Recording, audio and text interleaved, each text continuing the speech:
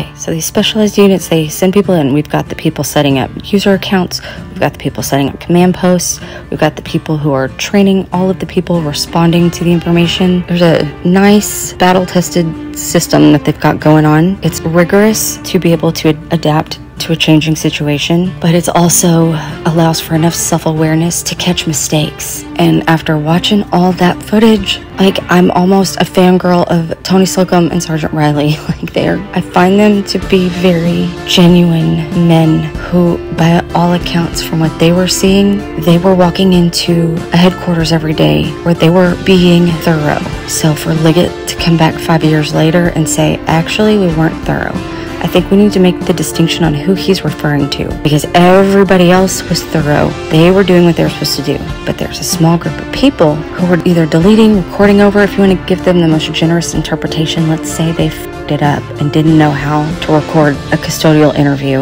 and how to log it. I don't know why we should give those people guns if they can't handle an audio recording. I think that's a little scary, but that's what I'm talking about. The implications of what Liggett is saying, we shouldn't even let these people run around with scissors and we're giving them guns and badges. I don't think that's the argument he wants to go with. I don't know why that's the one Nick McLeland is going to try to double down on, but I guess let's go then.